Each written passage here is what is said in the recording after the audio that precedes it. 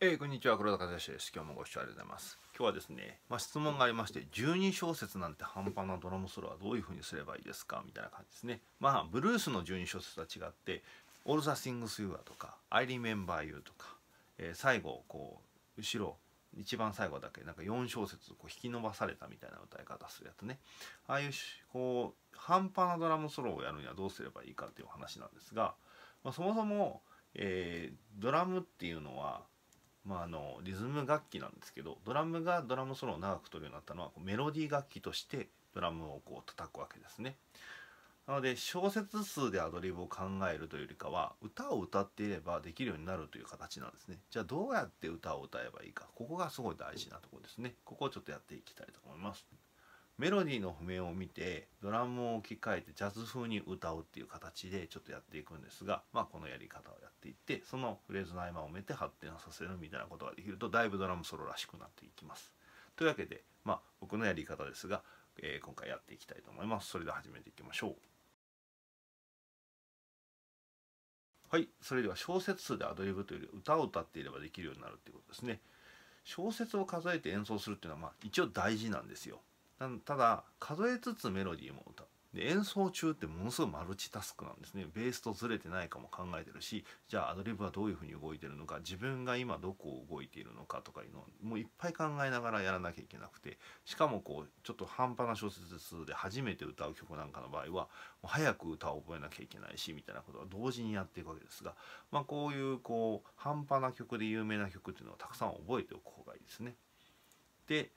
まあ数えつつなんだけどメロディーも歌わなきゃいけない。最終的にはハーモニーが頭に頭の中になってて自由にその上でアドリブを歌う。これはもうですねこの考え方っていうのは結局ピアノのアドリブもベースのアドリブも全部一緒なんですよ。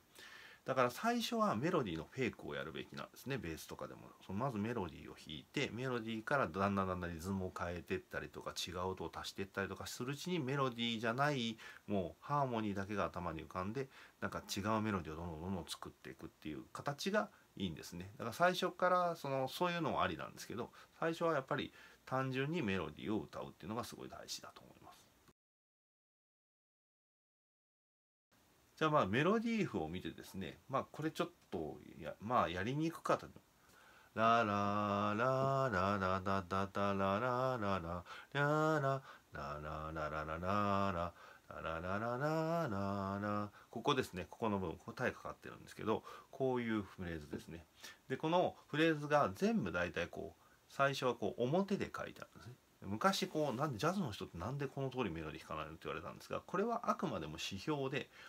あえて表で書いてあるんですよ。裏で書いちゃうと1の裏で書いちゃうと絶対1の裏になっちゃうんですけど表だと前にずらしても後ろにずらしてもいいでしょ。このままだとダサくなるじゃんみたいなイメージですね。でこのメロディーをこう後ろにずらしてタドーンとこうねシンコペーションさせるとジャズっぽくなる。ダラーダラーってこのタドーン。でこのシンコペーションする手前にこう音を置いたりダラーダッタプテープテープダダッタこの楽がこう裏を裏に歌う歌ねだこれも後ろにずらしてタドダダここもシンコペーション手前にどっかを裏にするんですねでダンダンタタタタここは203年わざと使ってみました最後のところのここの部分は「ルタラタティララ」という歌い方この歌い方結構定番なのでこの歌い方ここ覚えとけばこのフレーズが来ればもうあ最後どんなに長くドラムソロやっても「あーチットントトトトンピッタガガジャンジャンジャン」これでブレイクしたらあなんかこうここであメロディーいかなきゃみたいな形になるんでこういうなんかこうメロディーっぽいもの最終的にですね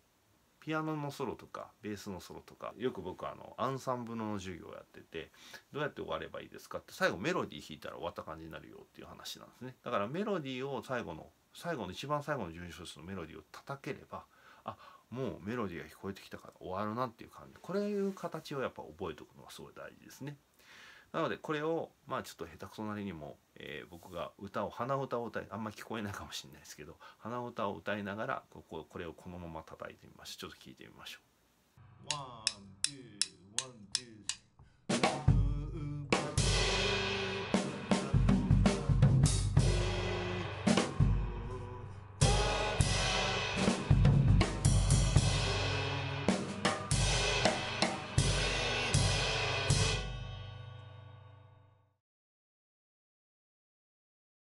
はいそしたらですね今度はこれはもうメロディーをそのままできる限りメロディーを忠実に歌ったんですけど「ダドレレダダフタフタダダダ」なのですが「ダドカッカドカタントトトンカスカスカタタタタツクタタトダダダンタツタカカンカツコタタタタタツクタトカカキダダラタタントンドトンババンみたいな感じのフレーズをこう入れてみました。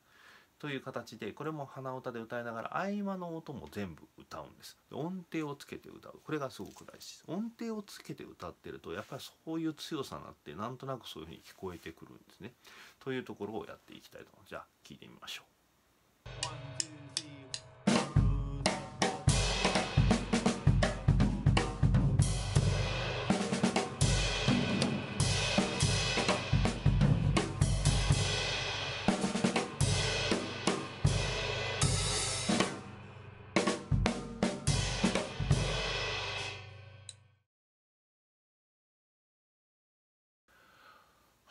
ありがとうございます。いかがだったでしょうか、えー、小説数がな半端なら数を数えるよりもそこを歌えるように何度も何度も歌う。こういう半端な曲要は間違いやすい曲の場合はここの部分を何度も何度も歌って練習するということですね。でメロディーを歌っておくとやっぱりメロディーが叩けるってすごい大事で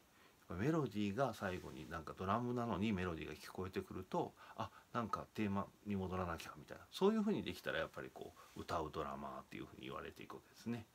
ななのでまあその歌うとか歌わないって何かっていうと本当にこう音程をつけて歌いながらそれをこうドラムでこう置き換えてやっていくって感じですね。最初のうちはこう歌ってるとなんか余計なことやるとそのメロディーがだんだんだんだん聞こえなくなっていくんですね。メロディーのリズムにあんまり縛られちゃうと自由にできなくなるんで最終的にはもうハーモニーだけが頭に浮かぶようになってきてで最後にやっぱりメロディーが出てくるっていうのがすごい大事なんでやっぱメロディーを叩けるようにしていくっていうのはすごく大事ですね。だからベースは全部メロディーです。だから12小節のブルースのやつもメロディーをやっぱり変換してみたいな。だからメロディー譜をこう変換して叩く。でどういうふうに変換すればいいかっていうとこういわゆるその YouTube とか聞いてまあ、チャーリー・パーカーが歌ってるメロディー。要はメロディーまあそのリフものはそのまま吹くけどチャーリー・パーカーとか手前に音いっぱい入れたりとかこういうもうアドリブを途中で入れながらメロディーをこうなぞっていくみたいな。でメロディーのリズムをバンバンバンバン変えていくんで。パーカーとかだとちょっと難しすぎるんですけどあのそれ以外のなんかいろんな人のなんかこういろいろ聞いてみてメロディー見てあこのメロディーだとドラムに置き換えれるなと思ったらそこからやっていけばいいと思うんですね。なのでやっぱりメロディーの置き換えをドラムでやっていくという形ですね。そこの置き換えのところにドラムの僕のワードのドラムソロのワードの、えー、タームになってますけどタームの ABCD っていうのを E までですね。ABCDE までが使えたら、まあ、かなりメロディアしく叩けるんではないかなと思います。というわけで本日は以上になります。今日も最後までご視聴ありがとうございました。今日も最後までご視聴ありがとうございました。今日の動画があなたにとって面白いなとかためになったなと思われる方はいいねボタンを押してください。チャンネル登録の方もよろしくお願いします。私のメールマガジンがありますので詳細の欄から URL がありますからそちらで紹介ページの方でぜひメールマガジンのご検討ください。毎日僕からメールが届きます。ジャズドラムのこととかジャズの歴史のこととか心理学のことについて毎日動画とその解説をお送りしますのでよろしくお願いします。3大特典もついておりますのでぜひご検討ください。それでは今日は最後までご視聴ありがとうございました。黒田和義チャンネルでした。